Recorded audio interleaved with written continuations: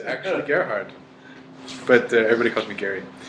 Um, yeah, I started Care of Editions, the label, in January of this year, with the ambition of offering listeners and musicians just a means of navigating the streaming era. I think basically my, my hope was to address the contemporary moment for all of the strengths and challenges that it offers.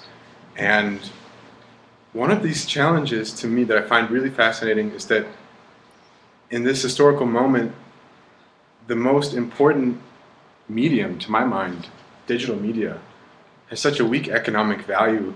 I think, as you know, for labels and curators, it's just as important to curate the value of the medium as it is the music that we release. And so, through a series of uh, experimental business models and distribution strategies, I'm trying to essentially give ground to my curatorial approach. And I want to talk about the first strategy, which is called um, negative money. This is our pilot model. Under negative money, we release vinyl and we release downloads. And the vinyl we sell just like normal, and the downloads we actually pay listeners for. And the amount of money that you would get is tied to the download edition number. So if you get download number one, you get the full album just like the vinyl, except that you get a check, and the check is worth one dollar. And if you get download number two, you get a check for two dollars. So it goes all the way up to 45 $45. And I started a Swiss bank account so that I could send these checks um, in your your local currency. Because I didn't want people to sign up for some third-party service, and I didn't want people to pay any kind of uh, fee for converting the currency. So the checks, they're all really unique. They, they look different in every country.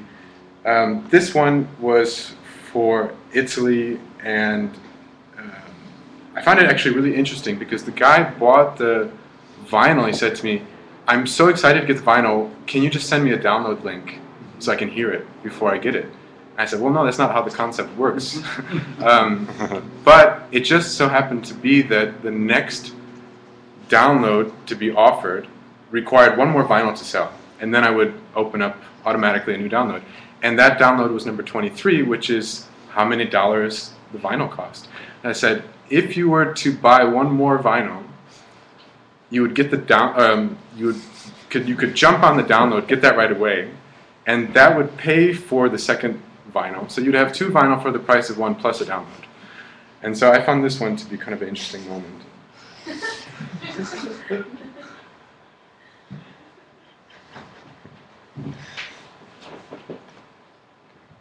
and this is what they look like in Germany, where I live.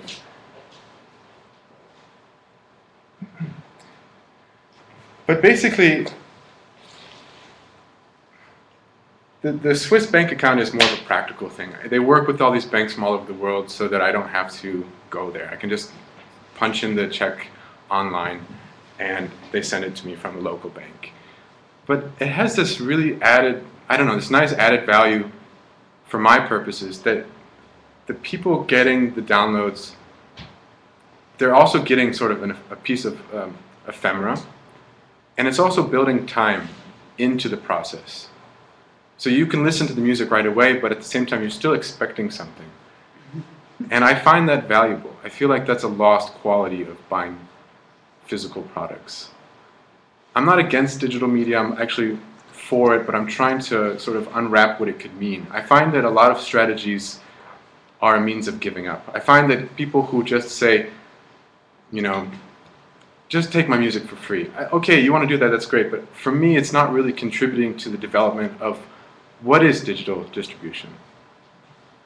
And in that respect, I find Napster to be more of an ally in that question. And I'm not doing anything, I don't think, illegal, but I'm still trying to, to play with this, this medium. I'll show you the website a little bit more. So down below you see all the releases kind of in one long scroll. And they all have the same format. you can't see it anymore because they start to disappear. Actually, it's always a picture of the front cover, a picture of the back cover, and then a picture of the artist. but what you see on the side here is sort of the running inventory of the downloads. And so as soon as someone downloads whichever number, that number disappears. And so the website is shrinking all the time.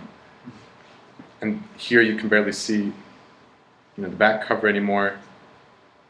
Ezra Buchla's release, you can't see any of it at all. And so it's a bit a visualization of the, the sort of disappearance of the digital inventory.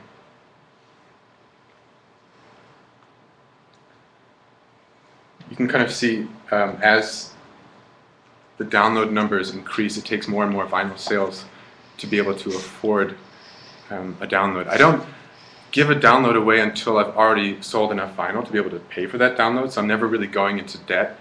And actually, the amount that I save from the vinyl profits is only enough to cover the production costs. And that would only happen at the end of an edition. So every edition has 118 vinyl and 45 downloads. And if I sold all of yeah, the vinyl and the downloads, I would recover just enough to pay for the vinyl production and sort of the loss of downloads. Sort of wrapping everything up in the end.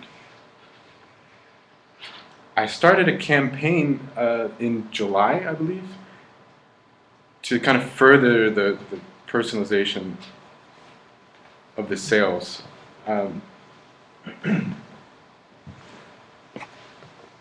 and the and the visualization of the, the download inventory. I built I built a series of furniture. I had them fabricated. They're chairs basically, and inside the chairs, I put vinyl. You can see it. Sorry, I have all these pictures. Here, you can see it. And the amount of vinyl that's inside of a chair is the amount of vinyl, vinyl that needs to be sold in order for one download, that particular download, to be offered. And so, in a sense, this furniture is holding the physical inventory while representing the digital inventory. And they come apart really easily. There's no nails. They can fold up in little stacks. And what I've been doing is taking them across Europe into uh, off spaces and galleries and certain bookstores and just setting up shop because they have sort of a, a retail interface because when you stack the chairs on top of each other, they have a little bit of like a, um, a record bin interface to them. It's, it's of course really weird when you go to a record store that's full of you know three records, but a lot of them. So this was the first iteration of that project. It was at a festival called Relevante Musik in Berlin, and I wanted to sort of counter the this disappearance that I'm visualizing by bringing into the picture the, the making of. And so one of our musicians, Lucrecia Dalt, was for the whole festival working in the foyer on her upcoming release. And so it created kind of a concert-like setting, even though I don't think it was quite as satisfying probably to most people as a concert, because she's sitting there, you know, actually tweaking out and working and recording and rehearsing, and a lot of the the background noise of the actual festival, people talking, you know, is sort of interfering with her working process, and those some of those elements are uh, brought into the recording. It's not finished yet; it probably will come out in spring. And we also worked with the space. Um, this this white curve on the left here, that's the bar, and it's always there. And this other little curved table is usually in the far corner as a merch table, but we use that as a surface where I could, you know, sell records and she could work on it and we positioned it right across from the bar so there's just enough space for one person to walk through. And you know it's a little bit of a tongue-in-cheek gesture that you know you can buy a drink in one hand and a record on the other. And at the same time it, kind of created a nice little intimate space. But yeah this is a this is a campaign called care of merchandising. And um, i think it sort of brings the traveling salesmanship um, to downloads. And I think for me, there's there's something really important about that. And on a business level, it's obvious. I think if you have this concept that doesn't quite make sense, you know, you should try to make it as clear as possible. Try to visualize it. I mean, that's basically the organizing principle of our branding is just making everything really clear. I think uh, some of the records are on the table. If you ever, if you want to look at them, go ahead. But the back covers, they're all the same. They have, they look basically like this. They have the business model, and you can see the relationship between download avail- availability and vinyl sales. And whenever someone buys a record, I mark with a little um, black dot in ink on the record, that, and you can see where your edition is, especially in relation to you know what downloads you may have unlocked. And that looks a little bit like this. These are the edition marks. But I think it's somehow more than just about making sense. I, I feel that it's a little bit about claiming the obvious, which to me is that we're no longer in the century of Duchamp. You know, Duchamp was really exposing the, the shortcomings of retinal art, you know, just speaking to the, the eyes. And downloads don't have that problem. We don't understand downloads with our eyes. I think we understand them with our thoughts. And in that sense, they lose their particularity. They kind of are all the same. And to me, that makes them the perfect vehicles for an industry that wants to just keep cloning its success stories, putting out um, sort of variations of what it's already done. I think commercial success has always been sort of a threat to uh, a homogenizing threat to pop music. But I think with the emergence of the digital era, it just has become all the more so. And I think you see it. I think you see a sort of desperation in pop music right now. I think um, an interesting observation comes from the curator Maria Lind, and she's actually citing a report I think it's called the European Cultural Policies 2015. And it says that the distance between art which is really critical and full of ideas and art which is spectacular and popular is becoming greater and greater. That by the year 2015, they really won't have much contact with each other. I'm not sure if that's true or not, but I, I find it to be really interesting. And I am really interested in both experimental music and pop music, and when I say pop, I, I mean popular. I I find that these are perennial forms of music. I don't think it's like reggae or, or cubism, which are great, but they're really historical instances. I don't think they will keep coming back the way that I think experimental music and pop music will. And so this relationship to me is really important to deal with. And you know, when I look at someone like Jay-Z, maybe it's not a fair example, but to me, it's almost like he is desperate to slow this trend down, to stop it. But he's not doing it from within pop music. He is asking for help from outside, and that's not that's not the way I would go about it. But it's really not um, atypical. It's sort of the trend. He's associating himself with um, artists, performance artists, conceptual artists, Lawrence Weiner, Marina Abramović, comparing himself to Picasso.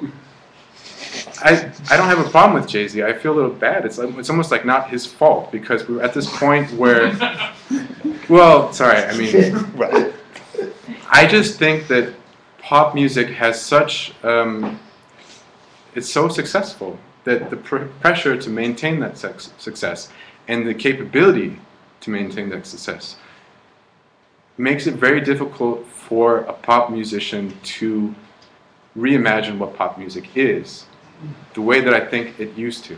And I'm not nostalgic, but I just don't see, let's, you know, the predecessors that maybe we could tie to Jay Z, whoever, John Lennon, Bob Dylan, Prince, Michael Jackson, I don't think they had to compare themselves or associate themselves. At least they didn't have to go out of the way to do that because I felt like, to me, they were still working out what the idea of pop music was. developing that through their music. And I don't think they had to, uh, yeah, stress the association to critical thinking and, and ideas. And my my feeling, yeah, and you also see with the hybrid of pop music, you have so many uh, pop musicians sort of bringing in elements of experimental music, and I don't think that's really the answer either. Um, I have the feeling that for pop music to reinvent itself, it has to come from within pop music. And I don't think it's going to be by throwing ideas at it. Maybe it's, it's not a very fair analysis of the, the history of, of music, but I see it happening. I've see, I, I feel like I've seen this happen with a number of musicians. Um, I don't know, Beethoven, a career full of experimentation, working on a new idea of what music could be. But then his own success, I think, became sort of an obstacle for him to overcome. And then, I don't know, I, I find the, the last piano sonata totally weird. And I think that he is sort of experimenting and reacting to his own momentum. A more um, contemporary example, Cornelius Cardew, another lifetime full of experimentation. But then at a certain point, he reacts to himself and starts writing these um, piano ballads in homage to uh, Chairman Mao. And it's just so weird. Uh, there's another example, Morton Feldman. Um, he was working on a piece that he never finished, which was for solo violin. And if you look at the score, you have to, it's weird. I mean, here are these, this, this very stoic solo violin piece, and it's just full of triple sharps and triple flats. And for those of you who read music, you've got to wonder why is he doing that? It doesn't make any sense at all. And a composer named Marc Sabat, who I imagine a number of you know because he's Canadian, and I think he knows you.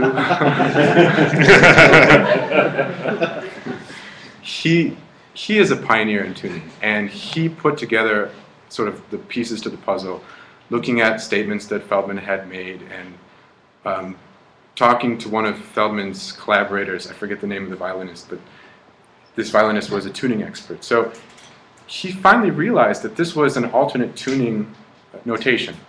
So these triple sharps were actually talking about that pitch in a certain, from a certain perspective, certain relationship to other tuning, other pitches.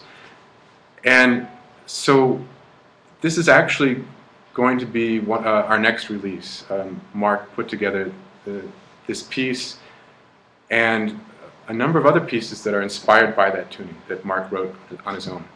It's actually our first acoustic album, and it's just solo violin for the most part with a little bit of um, two violins. And that'll come out, I think, in January. But for me, you know, with a business model like this, I don't want to release only experimental music because, in a sense, it's actually very much like working with the spirit of capitalism, trying to sell something with a gimmick, something that wouldn't normally sell on its own. And I didn't want to release only pop music because, in a sense, then it's more of um, inter- an interruption into something that was doing just fine before we started slowing it down. And so you know, on one hand, curating for this label is very much a gut thing, the way a lot of art purchasing is. But I do try to formulate it because I do have sort of an ambition with the curating. And so, just generally speaking, I'm looking at music which is sort of borderline experimental music and borderline pop music. Just a very general category. And I know that if I talk to 95% of musicians, they will think, oh, that's me. um, part of the problem is because the word experimental has probably lost its poignancy. I mean, everybody who twiddles some knobs and bites on their reed thinks they're being experimental. And I, I don't want to be sort of elitist about the term, but I, I do have a little bit narrower of a definition of what that might be. But when I say borderline, to me, that's more the important part of the definition because I'm actually talking about experimental music which might not operate according to a lot of the stock gestures that we've come to know from experimental music. So immediately that that takes a big chunk of experimental music out. Um, music that's possibly experimental but might come underneath the radar. And then with pop music, I think pop music just operates with a different understanding of stock gestures. I can't really imagine pop music without stock gestures. And so for me, I'm, like I said, I don't want pop music to sort of be infiltrated by too many ideas. I, I don't want it to develop a sort of metaphysical um, uh, notion of, of what it can be. But I'm certainly not looking for music which is just sort of, um, I don't know what the, the, right word is, but um, just you're, you know, churning out pop tunes one after another. Um, I don't have a whole lot of time to go through all of our, our releases. I think I have like five minutes left. Um, but our first release was by Boris Hegenbart, and part of why I was attracted to this release is because it's actually already a classic in my mind. Mm-hmm. It was released in the 90s, and so for those of you familiar with record labels and what they release, typically the first release is a little bit important. You don't want it to be a re-release. You want it to be a statement about who you are and what you. Maybe you have an unknown artist that you want to say, look, this is the future of what this label will be. But we went in the other direction. So we released an album that had already been out only on CD and asked Boris to do a vinyl version. And another reason I really like this is because there's so much sort of neo music concrete out there in the world, and he does sort of identify with music concrete, but also with dub. And it's a very interesting combination, and I feel that he does it in a really not stereotypical way. It's it's a really fascinating album. Um, I have to leave it at that for now. Um, Scott Cazan from LA, um, electronic musician. I think that the sort of description of what this album is does sound cliche to me. He says, you know, he wrote um, some patch that had innumerable compositions that would multiply and sort of disappear and eventually the information became too much that it overflows. And i feel like i've heard that story too many times. But what's really unique about this album to me is that it's it's in my mind it's gorgeous. And i feel like i'm in this space sort of on the outside of something but also on the inside. It's sort of a peripheral thing. And i can really listen to it in the background or very um, very much attentively. And I, I, appreciate that about experimental music when it can do that. Um, ezra Buchla um, brings a lot of different talents together. He sings, he plays viola. He is also the son of Don Buchla, and he has inherited the genius of synthesizing. Um, this album is probably the closest to pop music that we come, but it's still quite distant. Anyway, um, I should probably leave it at that for the music that we've released so far. Our next release, as I mentioned, will be Marc, and then after that will be Lucrecia um, Dalt. And she's much more in the pop music world. She's touring right now with Julia Holter. So um, it gives you a sense of where we're going with this. I would like to get probably a tick closer to the pop music world since I feel that we've got our experimental bases covered. Um, but we'll see where that goes. Um, I think in closing, yeah, for me,